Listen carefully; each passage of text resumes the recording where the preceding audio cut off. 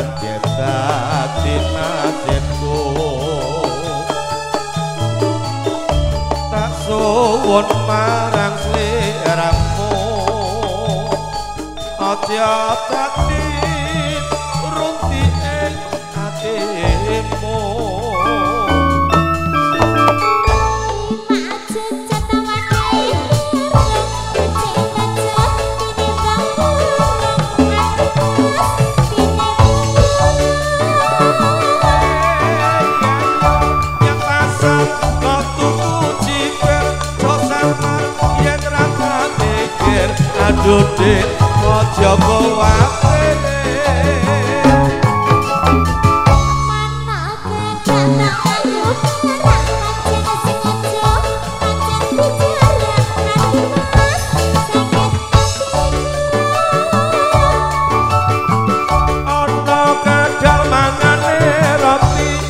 tak budal aja digondeli. Aduh aja digondeli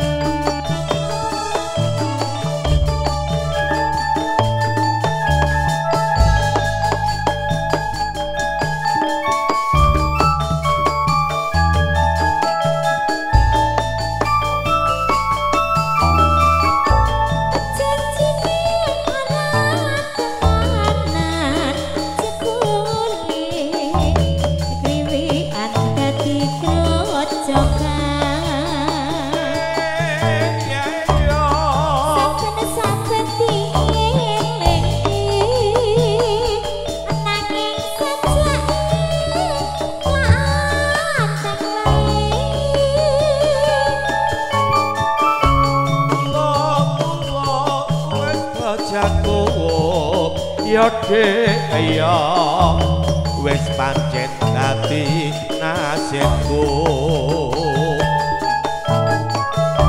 Tak suwun marang sliramu